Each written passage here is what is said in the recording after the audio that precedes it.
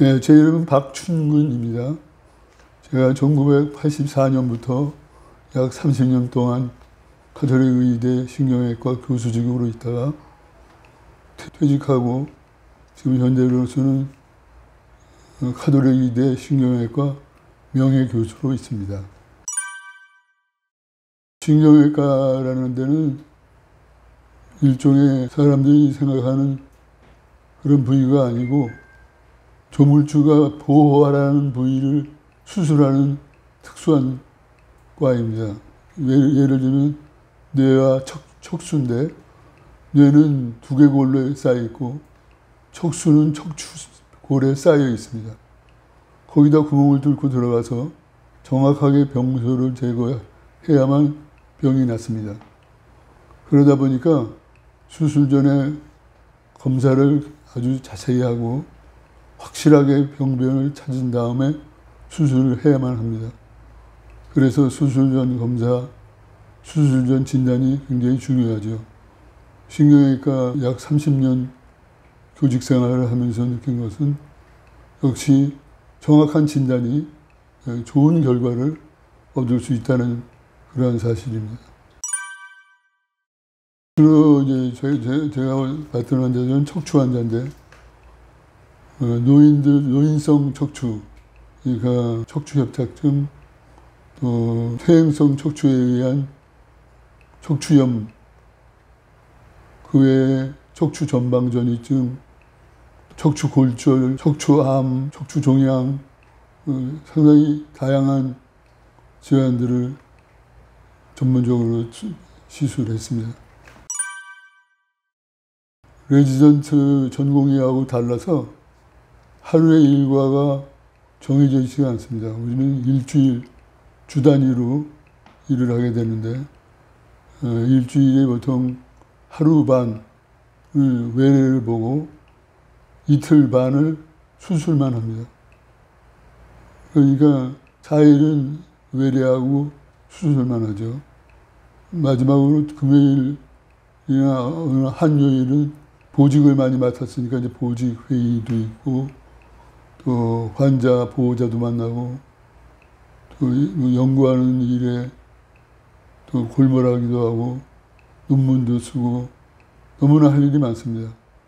그리고 토요일 날은 젊었을 때는 골프를 치러 나가거나 가능하면 쉬었는데 나이가 들면서 환자들이 너무 많아져갖고 환자들을 처리하다 보면 그 하루도 일을 하기가 어렵습니다.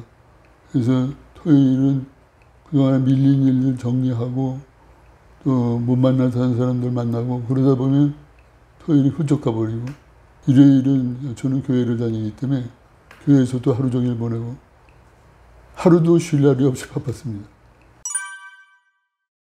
제가 척추 외과 의사로서 가장 큰 업적 중에 하나가 척추 성형술이라고 골절 환자들을 단 며칠 사이에 회복시켜주는 치료법을 개발한 것입니다. 그게 1999년도에 발표를 했기 때문에 파킨슨 병으로 진단된 것은 2010년입니다. 2010년. 그러니까 약 10년 동안을 활동을 했는데 점점 점점 환자가 늘고 또 여러 가지 척추 수술에 관한 테크닉을 소개해드리고 이러느라고 너무너무 바쁘게 지냈습니다. 그리고 바로 진단받기 1년 전인 2009년에는 세계 척추 인공관절 학회 회장으로서 1년 동안 세계 여러 곳을 돌아다니며 강의도 하고 바쁘게 지냈으므로 정신이 없었습니다. 이게 어떻게 보면 이제 제가 이 척추 외과라는 분야에서 한 명의 뭐 명이라면 명이고 아주 유명한 의사가 돼가는 그 순간에 이런 일이 일어났습니다. 그래서 저는 어떻게 표현하냐면 독수리가 절벽 끝에 둥그리를 치고 새끼를 난 다음에 새끼가 거기를 떠나, 떠나서 날게 되면 독립하는 겁니다. 그래서 이제 새끼가 그동안에 날개를 키우고 힘을 키워서 처음으로 올라가는 공기를 타고 비상하는 중에 갑자기 회오리 바람이 치면서 나락으로 떨어지는 그런 안타까운 과정을 보면서 나도 지금 저런 상황이 아닌가 하고 생각했습니다. 누구나 그런 생각은 다 하지 않겠어요? 왜 하필이면 내, 나한테 이런 병이 생겼을까? 저는 교회 다니는 사람이지만 하나님이 왜 나한테 이런 형벌 같은 일을 주셨을까 하는 그런 의문은 생기죠. 그러나 돌아보면 제 자신이 제 자신만을 위해서 건강을 위해서 너무나도 무관심했던 것을 돌이켜보면서 그것도 하나의 큰 역할을 하지 않았었나 그런 생각도 해봤습니다. 파킨슨 병은 저 같은 외과 의사에게는 사형 선고하고 똑같습니다. 지금 제가 이 죽음을 앞에 놓고 모든 걸 포기하고 죽어야 된다면 죽는 병이 아니기를 바라는 마음으로 그런 진단이 아닌 경우를 찾아서 헤매고 다닐 겁니다. 의사라도 일반 환자하고 똑같습니다. 물론 저는 신경외과 의사니까 그런 비슷한 증상들을 느끼면서 제 자신이 일지도 모르겠다라는 가능성은 생각했지만 그것을 인정할 수가 없었기 때문에 일종의 아집과 편집증 생각으로 그 거부하면서 딴 병이기를 바라는 마음으로 지냈던 거는 제가 부인할 수 없습니다.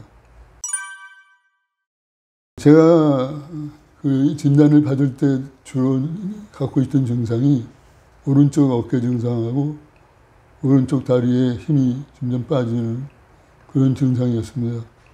그러니까 저는 어깨는 어깨대로 문제가 있어서 오른쪽 팔, 손에 증상이 오는 거고 다리는 다리대로 제가 어렸을 때 알았던 병 때문에 다시 나빠지면서 오는 게 아닌가 그런 생각으로 제 자신의 치료를 했습니다.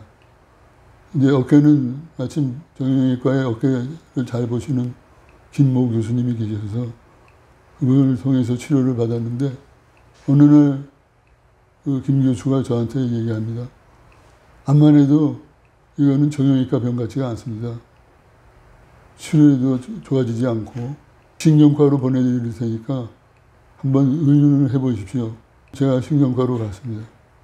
신경과의 교수님께서는 저에게 당장 펫시티라고 파킨슨 비형을 진단하는데 90% 95% 이상의 정확성을 갖고 있는 진단법을 시행하자고 하였고 그것을 시행하였더니 왼쪽 뇌에 파킨, 파킨전병에서 나타나는 도파민의 감소가 뚜렷하게 관찰되었습니다. 이제는 저는 빼도 박도 못하게 파킨전병 환자가 된 거죠.